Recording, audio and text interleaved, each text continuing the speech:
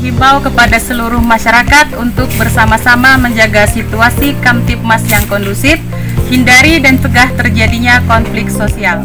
Ciptakan situasi aman, tertib dan kondusif di wilayah Provinsi Jambi. Hindari segala bentuk konflik sosial yang dapat menimbulkan perpecahan. Mari meningkatkan ekonomi masyarakat, menciptakan investasi yang nyaman.